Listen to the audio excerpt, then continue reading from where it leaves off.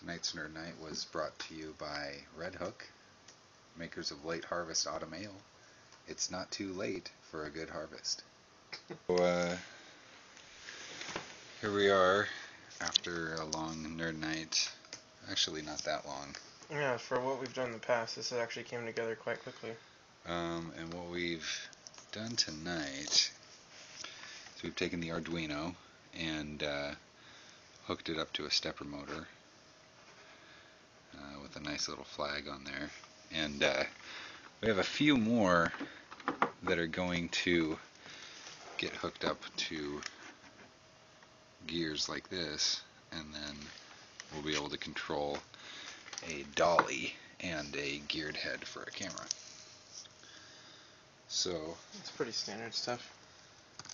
in terminal, So basically, all we have to do fire up a little Perl script.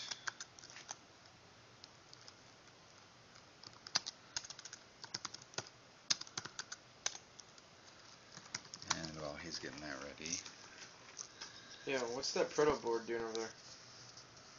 this uh, this is just kind of your standard breadboard right here, uh, but this is a nice little motor controller uh, from SparkFun. This is the Easy Driver V4, and uh, it can drive up to a one amp stepper motor. Oh, uh, yeah, or, it can. or I'm sorry, a 0.75 amp, I believe. But this guy I think is only about 450 milliamps, so nowhere near uh, the theoretical max, but it does get really hot even when it's sitting idle.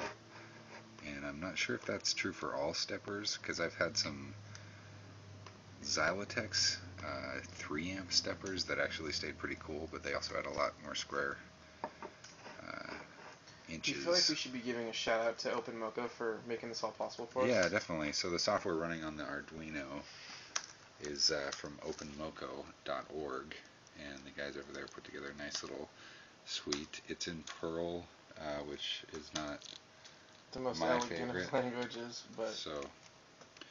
Hopefully, we'll see a U, uh, GUI for this at some point very soon. And uh, everything's going to live inside of here.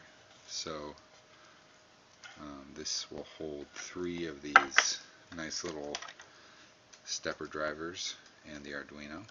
And uh, hopefully we'll be able to create a nice little mobile motion time-lapse rig.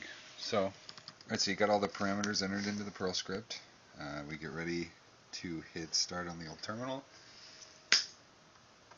And as you can see, there she goes. And while this may not seem that exciting, uh, keep in mind that when hooked up to a geared head and a slider dolly, these little turns will actually do something pretty cool.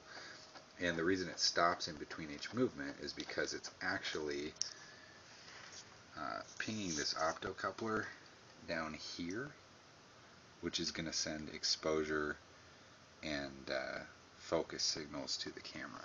So in between each step, uh, the camera will take a shot, and that way you don't have a camera taking a shot while in motion and getting blurry. So that's pretty much it yeah. for The tonight. fact that we So, can, uh, that's Nerd Night.